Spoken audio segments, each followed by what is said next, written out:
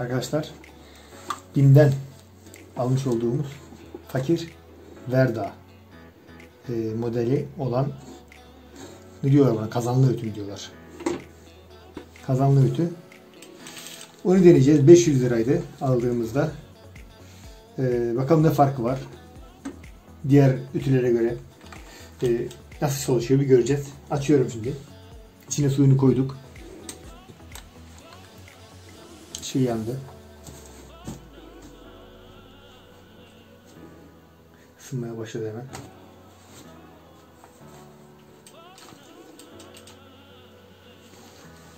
Şimdi bir gömlek var burada. Çocuğun gömleği. Bunu bir ütüleyelim.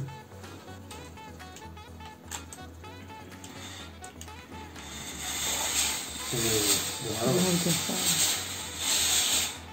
Maşallah. Termik santral gibi buhar çıkar.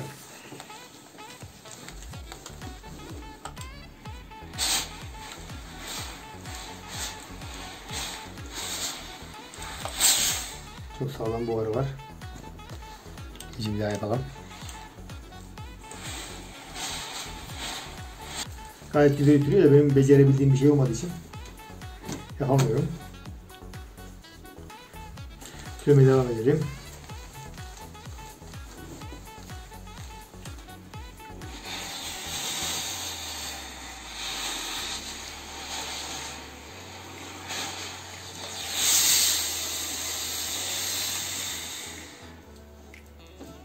Şöyle gördüğünüz üzere jilet gibi yaptı. Yani bunu tabii en iyi hanımlar bilir. Bizim anladığımız bir şey değil. Sadece buharını göstermek istedim size.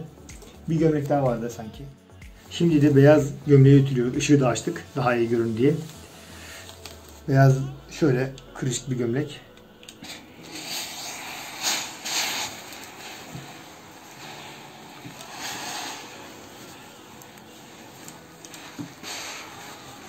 Hiç elime de yakışmıyor ama. Yapacak bir şey yok. Ortalığı buhar bastı bir anda. Bunun farkı diğerlerine göre çok çok fazla buhar kapasitesi olması. Bakın bu mesafeye buhar yükeliyor. Yani tabi güç tüketimi de ona göre fazla olacaktır muhtemelen 2400 watt. Ama işinizi muhtemelen çok kolaylaştıracak bir ürüne benziyor. Buhar ayarı muhtemelen birinci, ikinci, üçüncü kademe. Biraz İngilizce mi Almanca mı değişik bir dille yazıyor. Fakir Verda. Şöyle bir cihaz. İçinden hortum geçiyor muhtemelen. Kablo da var. Şu düğmesi kilitlemek için. Buhar vermek için. Burada bir e, filtre kısmı var. E, e, kireçli su koyulabildiği yazıyor kitapçığında. Hani direkt kireçli su koyuyorsunuz. Bu kendisi kirecini e, süzüyor. Şöyle bir mekanizması var. E, ama tabi siz yine de yani ben olsam kireçli su koymamaya dikkat ederim. Çünkü sonuçta bu filtrenin de bir ömrü olacak. Ağırlığı ne kadar derseniz şöyle bir bakarsak. Şimdi biraz da su var bir litre kadar ama şöyle 2 veya 2,5 kilo gibi bir ağırlığı var.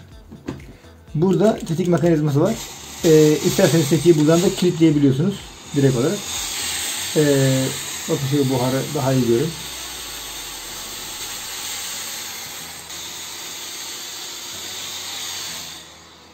Buhar banyosu yaparsın bununla. Şimdiye kadar e, diğer ütülerden bayağı bir farkını gördük. Tavsiye edilir.